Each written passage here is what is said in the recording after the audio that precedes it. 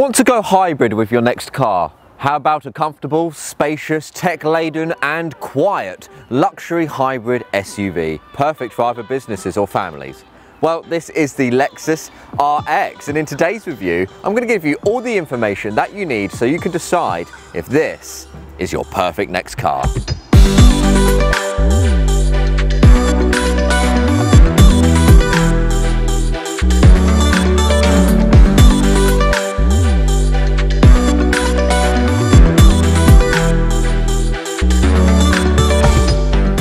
So if you're in the market for a premium SUV, you are truly spoilt for choice. Popular offerings in this segment include the BMW X5, the Audi Q7 and the Volvo XC90, just to name a few.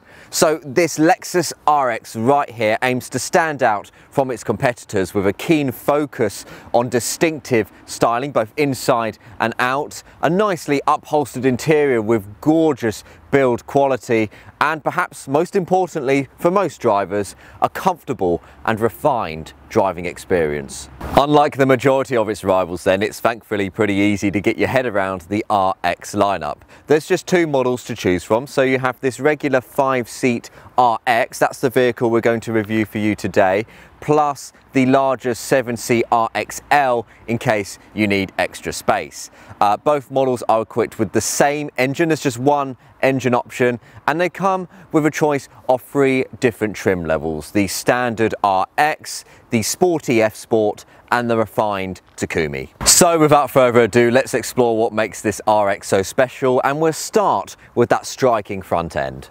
So the design here is very familiar if you've seen a Lexus on the road before, but it's also quite distinctive and unique when compared to its rivals and it stands out on UK roads. Um, I'm quite a big fan of Lexus's spindle grills. Love how it just flows down the front of the car and I love how the badging here is just housed in the middle, displayed rather prominently. It lets you know that this is a luxury car. So LED headlights come as standard regardless of which model you go for, always great to see.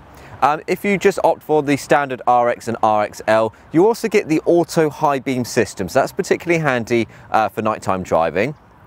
If you upgrade to the F Sport or Takumi trims, those are the top spec trim levels, uh, you get the Blade Scan Adaptive High Beam System. Essentially what this is, it's an auto dimming system and it's able to identify pedestrians and road signs from a greater distance um, and just gives you greater nighttime visibility. So if you're somebody who gets anxious about driving, um, you know, at night in those cold winter months, then I do recommend upgrading to those higher spec trims to just ease that somewhat. Other highlights of the front end then include LED daytime running lights and fog lights that come as standard. I love how the design here just flows inwards towards the side vents, gives the car quite a lot of personality and I'm a massive fan of the steel material that just wraps around that grey grille. Really nice stuff. I'm a massive fan of the front end, but let me know what you make of it in the comments below. The side profile then is really sleek. I love the sharp lines just flowing down the length of the car. Makes for a very clean and uncluttered appearance. Let's focus on these door mirrors then. So they've been designed to reduce wind noise as much as possible. Um, they're heated as well, so really nice for those cold winter months. Uh, they tilt downwards when you reverse, so it's very easy to see the curb and maneuver out of tight parking spaces. And if you opt for one of the uh, higher spectrum levels, they will be auto dimming and that reduces you uh, the chances of being dazed by other road users. So a lot of thought and care has been taken into the mirrors. Let's check out these alloy wheels then. So these are gorgeous 20 inch 10 twin spoke alloys in a nice chrome finish. You get these with the Takumi trim level. That's the one we've configured with this vehicle right here. Look really, really nice. As standard, these will be still be 20 inches, though these are five twin spoke uh, wheels in a nice dark grey finish still look very very lovely indeed. You can also configure the car with optional 18 inch silver wheels and they're designed to provide optimal driving balance though having said that I haven't had any issues with these 20 inch wheels here and they actually reduce the impact of more aggressive humps and bumps as you're driving along so that is something to consider. I'm just going to shimmy over here and we can check out the hybrid badging to remind you that this is a self-charging hybrid vehicle. I'll tell you more about the powertrain when we move on to that section a bit later on in the video. So the door handles will be in whatever body colour you've chosen. We've opted for deep blue. That is a metallic option. Will set you back around 670 pounds. On screen now are the other metallic options uh, plus the special metallic colours that will set you back around 920 quid. So you'll have to weigh up whether it's worth uh, spending nearly a grand on just the colour of this vehicle, but I'll leave that up to you. If you don't want to pay any extra, just go for Velvet Black. It's a standard colour and it looks really good. As we make our way to the rear end, you'll spot the rear privacy glass to stop people from peering in. Uh, roof rails come as standard as well. And just behind the roof rails, I can't quite see because I'm too small, but we have a panoramic sunroof and you get that with the top spec Takumi trim level. Uh, so the fuel cap is pretty rigid. It's not too flimsy. It's not going to fall off, which is always great to see. Okay, let's head to the back now. So you get a rear spoiler to give the impression that the car is sporty, which it most certainly is not. I do love the design of these rear LED light clusters. I love how angular they are and how they flow into this steel material here. Really, really nicely designed.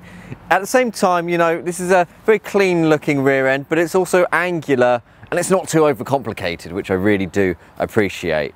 Right then, how much space is there in the back of the RX 450h? Well, let's find out where pop the boot open and we don't actually have to do much because it's a power operated tailgate. So it takes a little bit of time to open up, but it will get there eventually. So we have 453 litres of space to work with here, which is okay, it's not great. Uh, Lexus has definitely prioritised interior passenger space over uh, boot space here. And then you've got rivals like the BMW X5 that offer a whopping 650 litres of space. So by comparison, it's a little bit disappointing. Though this is enough room to fit six of these small uh, carry-on luggage, and there's hardly any kind of lip here, so it's really easy to load awkwardly sized items into the back.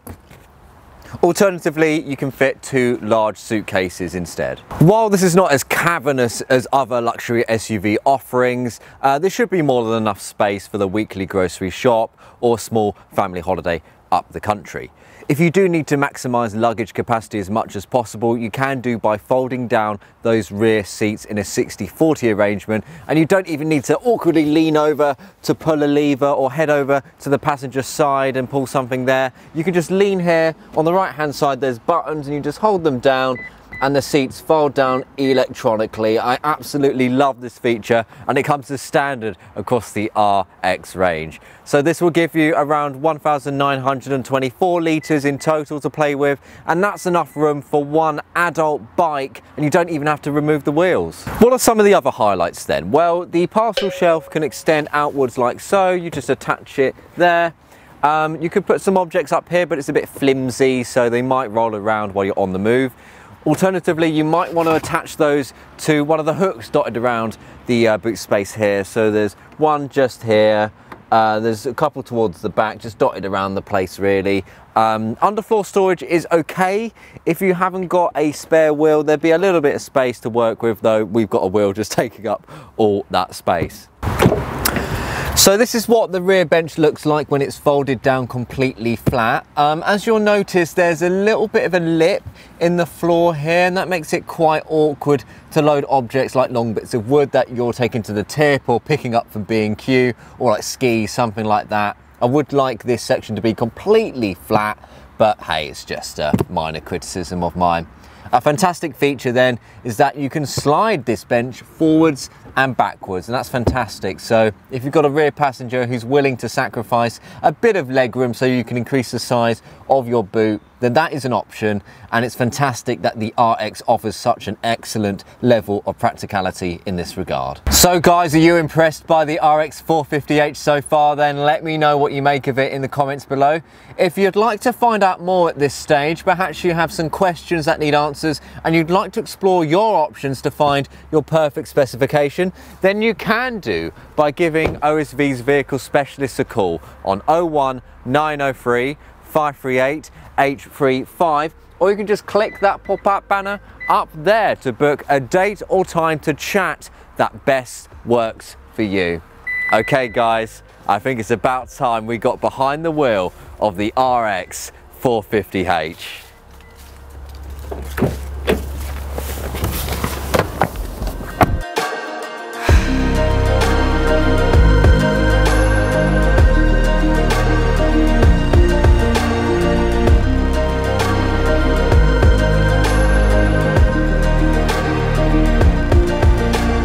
So here we are then, we're behind the wheel of the RX 450H and my first impressions are, well, quite unsurprisingly, it's incredibly comfortable, smooth and relaxing to drive. The seats hold you in place nicely around the corners and the steering is nice and light uh, for a vehicle of this size. I quite like light steering um, and it works well with this car. Um, it just makes it very convenient um, and an easy, most importantly, to get from A to B. So the accelerator pedal is quite soft um, and it's responsive as well, which is great. Um, it doesn't take too long to get used to. You only have to lift your foot up just slightly for the car to slow down. So it's nice and responsive. The brake pedal is also quite firm. Um, you'll notice when you come to a junction or a roundabout, you need to make a complete stop. Um, there's no issue at all. Really, you don't have to start braking too early. Um, it's pretty responsive in that regard. So what's the tech like while you're on the move? So we've configured this car with the head-up display, really handy, so that projects your speed and the speed limit of the area directly in front of you, so you don't need to glance down at that driver display. I, I just absolutely love this, and to be honest, I would configure it in um, the majority of vehicles if this was an option. I think it's pretty essential these days. Um, just below that then, behind the steering wheel, we have the driver display, and there's quite a lot of information here. So you've got a tiny little display in between the speedometers, um, and that shows how efficient you're being on your journey. Um, also shows uh, like how the temperature outside, you know, the time, basic stuff like that. But it's nice that you can cycle between uh, lots of key information, and it's quite easy to just glance down and view that. And then we have the infotainment setup. Um, I like how high up this is on the dashboard. It's really um, easy to just glance over, um, see what you need to see, and then glance back at the road. I would like it to be angled slightly more towards the driver. That's my biggest complaint about it. Um, but other than that, yeah, I like where uh, Lexus have positioned it in this particular vehicle. Okay guys, let's head into the OSV office where I'll tell you more about the RX's trim levels. Let's start with the basic RX then. This starts from £53,865 and for this price tag you get quite a lot of standard equipment to be fair. These include 20 inch alloy wheels, uh, you get a host of uh, safety features as well, courtesy of the Lexus Safety System Pack. Uh, this includes road sign assist, adaptive high beam, uh, cruise control, lane keep assist, all the stuff you would expect in a modern vehicle.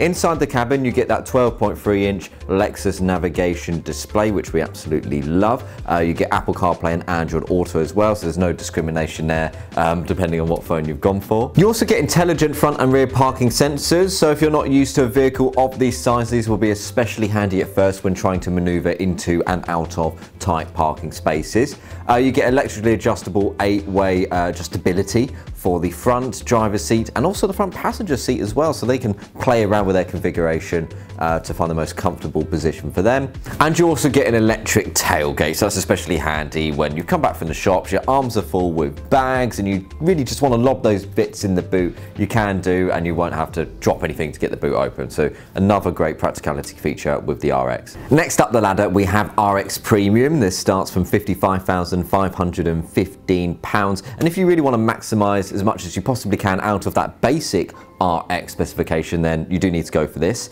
Uh, this adds two-way lumbar support for the driver's seat, so another additional uh, comfort feature there, as well as smart keyless entry. So you just have to walk near the car. If the key's in your pocket, it's gonna open for you. So yeah, just another bit of practicality there. In the middle, we have the Premium Sport Edition, and this starts from £57,165. The wheels are still 20 inches, but they have a black sputtering effect to suit that black exterior styling, which affects the front grille and the the mirrors as well. Uh, the whole overall package looks really, really nice. If you like what Audi does with its Black Edition models, then you'll really like what Lexus has done here with the RX. Uh, in addition, you get heated outer rear seats, so your rear passengers should not be moaning at all while on the move. You also get smooth leather upholstery inside the cabin, as well as a head-up display with this trim. You know I really like that feature. It displays all the information that you need uh, right onto the road ahead, so that's really, really handy. And you get a panoramic sunroof, letting lots of light into the cabin on that one day of summer we have in the UK. So yeah, really impressive equipment with this mid-range trim. If you're all about that sporty lifestyle, you have to go for the F Sport trim level. That starts from £58,015. Uh, the 20-inch alloy wheels are outfitted with F Sport styling, as has the overall exterior. You'll notice F Sport badging dotted around the place, as well as that black spindle grille, which looks really good, as well as metallic front bumpers, um, creating a really nice overall look there. You get the additional Sport Plus mode, um, so you get five driving modes to play with now, plus adaptive variable suspension to adapt to whatever kind of terrain you're driving on and really maximize that driving experience for you. Plus you get ventilated front seats inside the cabin. Last up we have Takumi, that's the particular configuration we've been test driving in this video. It starts from £64,515 and it really maximizes the overall package on offer here. Um, it's £10,000 more than that base spec, so you will have to decide whether the extra equipment on offer here is worth the premium. So you get that 15 speaker Mark Levinson surround sound system, so audiophiles, you'll absolutely love that. The alloy wheels are still 20 inches, but they're in a gorgeous Takumi design. Uh, you get extra safety features like blind spot monitoring as well as uh, rear cross traffic alert. So if you're particularly anxious about driving a vehicle of this size, that should eliminate some of the anxiety for you. You also get a 360 degree panoramic view monitor, which I've had great fun playing around with, as well as four-way power adjustability for the lumbar support. So yeah, you really get the most out of the RX with the Takumi pack, but yeah, is it worth an extra £10,000? I'll let you decide that one. Okay, let's head back into the RX and I'll tell you more about the driving experience. Tom, what is the ride height like?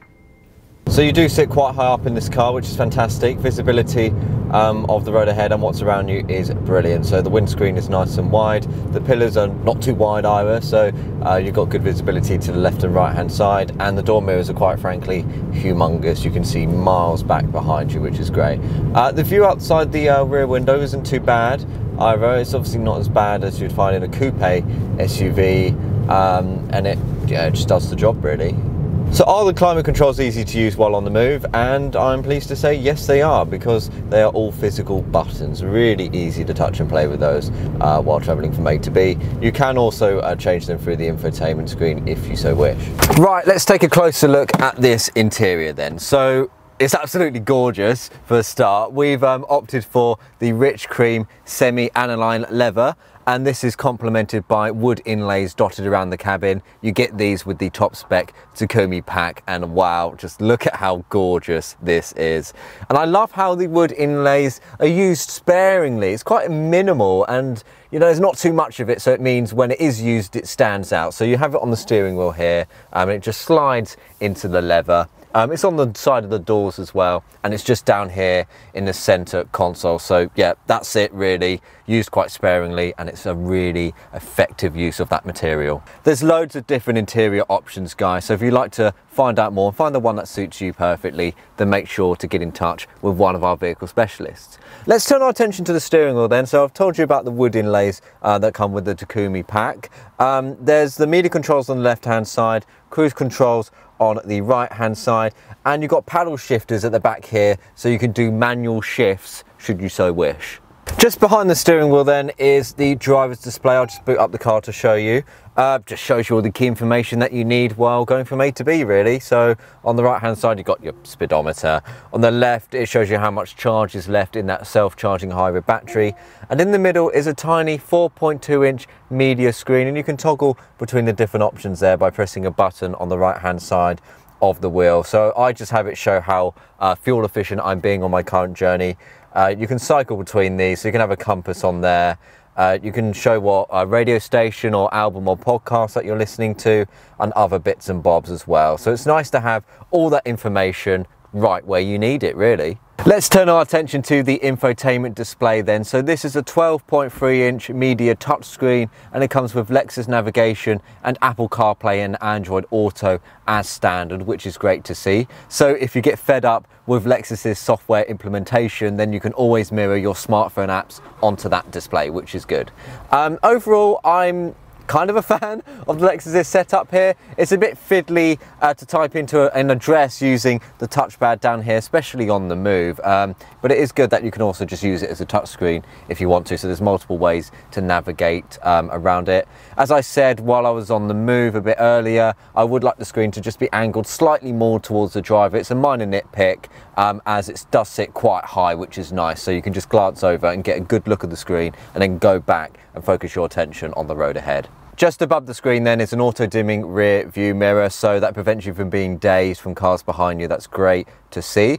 Uh, just below that then, let's focus our attention on this center console bit. Love the implementation of the Lexus analog clock in the middle there, just between the air vents. Really, really nice. Gives the cabin more of a premium feel, in my opinion.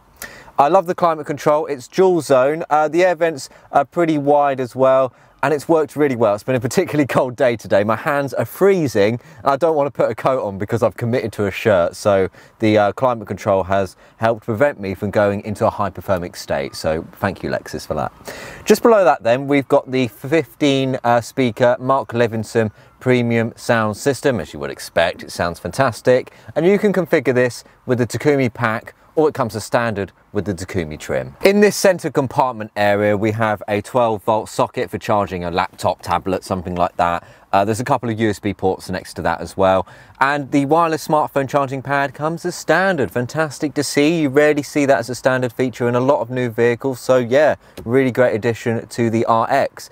Just behind that then are the controls for the heated and ventilated seats. But they're a bit hidden away, especially while you're on the move. You have to glance down to look at them and they're just hiding behind that gear selector. So not sure why they're there, they could be moved elsewhere, uh, but at least we have heated and ventilated seats with this particular configuration anyway. There's a storagey bit here, which is perfect for your keys, but it goes down weirdly far. I wasn't expecting it to go down that far. You can pretty much shove anything in there really. Next to it are a couple of cup holders. These are adjustable, so you can fit like plastic bottles, cans, cups, anything really will be able to fit comfortably inside those cup holders. And here is the touchpad for the infotainment display. And there's nice shortcuts to the map and menu, nice bit of haptic feedback as well while you're scrolling your finger across and yeah I like the imp implementation of this. And down here we have the toggle for the driving mode selector. Um, I wish it was up here though. You find it up here in the Lexus UX300E and the LC500 convertible it's just easier to toggle while you're on the go but it's down here. But that's not too much of a problem. As standard you get four different driving modes. These are eco ev uh, normal and sport F Sport and Takumi trimmed models and Sport S. Uh, the sportier driving modes get adaptive variable uh, suspension which either sharpens or softens the ride uh, depending on your driving style. It also improves engine responsiveness, makes the engine a whole lot louder as well and it adds a bit of weight to the steering.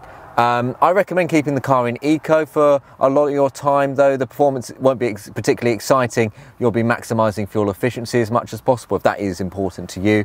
And then when you get to a junction and you want to get off the block quickly, stick it into sport and you'll have no problems at all doing that. Um, you can also do short journeys around town using that 288 volt uh, battery pack. When you stick it into EV mode though, it isn't going to last long. It does deplete quickly, but it's nice to have the option of doing an all electric journey if you want to. Last few storagey bits then, so you get a nice spacious center compartment area. Just pop that open goes down really deep actually, you can fit lots of sweeties in there. There's a couple of USB ports, an aux port and another 12 volt socket as well. Really nice. All your charging needs are very well covered by the RX, that's for sure. Let's open up the glove box. Really spacious. Look how much stuff you can fit in there. Very, very nice. Perhaps my highlight of the storage, or perhaps even the whole interior, I'm not even joking, are these fold out door bins. Oh, brilliant idea. It's just so simple as well. You can fit like a 500ml bottle in there, a flask, you name it. It's going to comfortably fit in the side of the door there. I promised I would talk about it, so let's do that now. You get the panoramic sunroof with Takumi trimmed models. It stretches about three quarters of the way across the roof lining, although the roof itself only retracts about the length of the uh, front passenger side, which is a little bit disappointing, but it's really easy to do while you're on the move. The buttons are up here, just above the uh, rear view mirror. Hold it down for one second and it will retract for you and let lots of light into the cabin, which is fantastic because it is a cabin that benefits from being brightened. Let's finally talk about the seats then. As you would expect, they are exceptionally comfortable for long journeys and there's a great amount of adjustability to be had as well. So you can put it up pretty highly and you can put yourself down quite low as well. You can pretty much fully recline, which is really handy if you want to stop off at a motorway service stop and get some shut-eye. And one thing I do want to point out before we leave the front here are the sun visors, which are wrapped in really nice and soft squidgy material. Great stuff indeed. Right, that's about it for the front. Let's see if the back is just as impressive.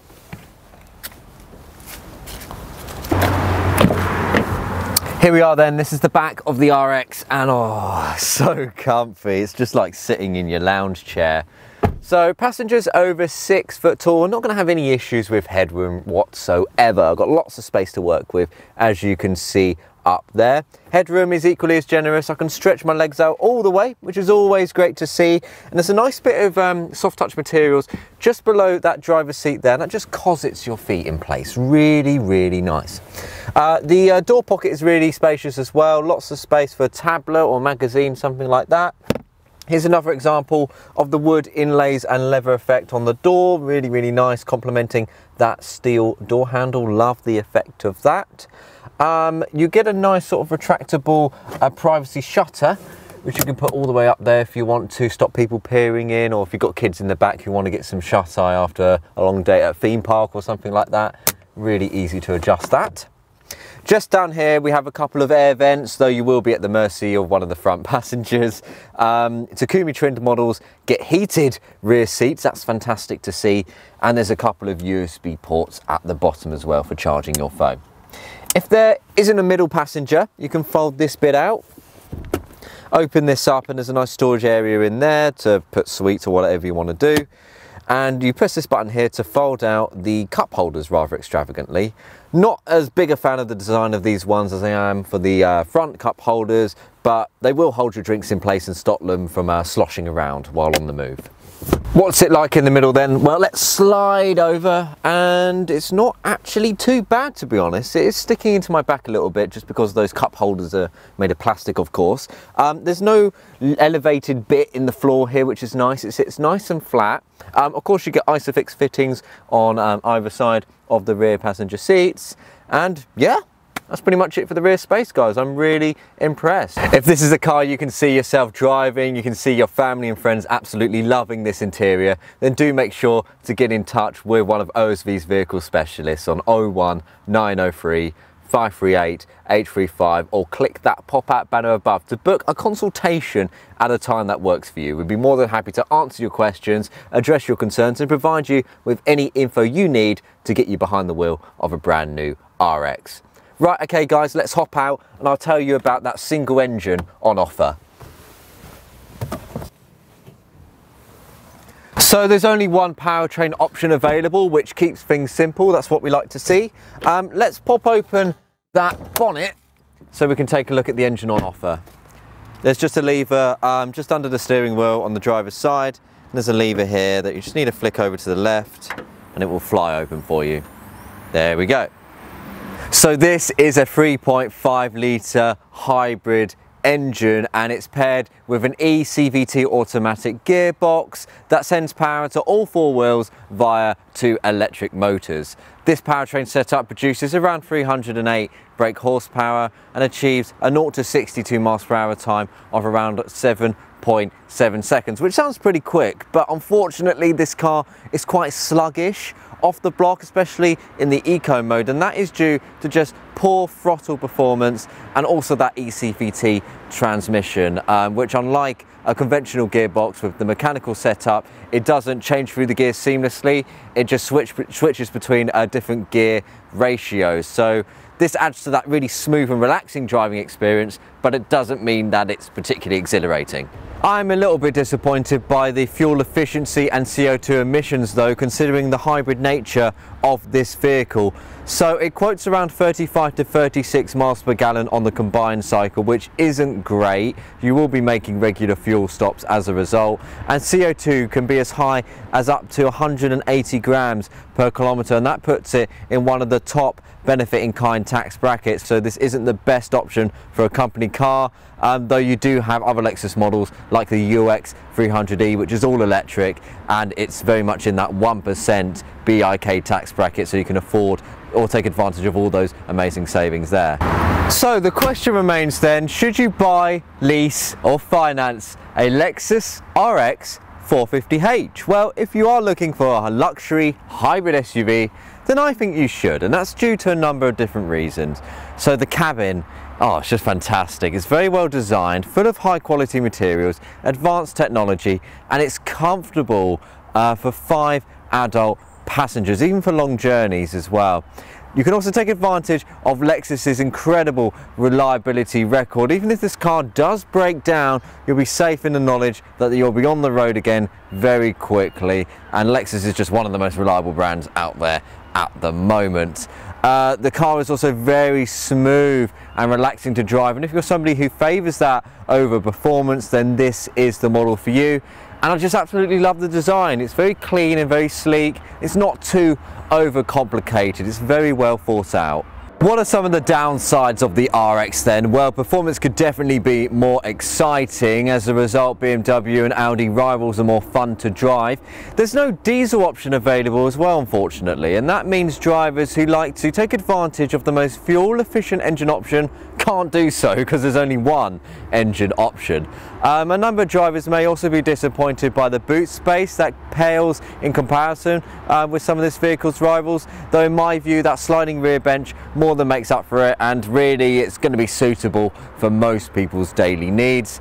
The biggest downside for me though are the poor levels of CO2 considering that this is a hybrid vehicle. I really do hope Lexus improve upon this in the next generation model. But all in all I've absolutely loved my time with the RX 450h. If this is a car that you can see yourself driving and you'd like to get the ball rolling on delivery then make sure to get in touch with OSV's vehicle specialists on 01 903 538 835 or you can click the pop-up banner up there to book a free consultation or the link down below in the description. So many ways to get in touch with our team of experts. Thanks so much for watching this in-depth review guys. If you enjoyed it, please do give the video a thumbs up. That really helps our channel out. Also subscribe to the channel if you haven't done so already and then make sure to click the notification bell up there to get notified when new videos go live. That's all from me today guys. Many thanks for watching. Take care and safe driving.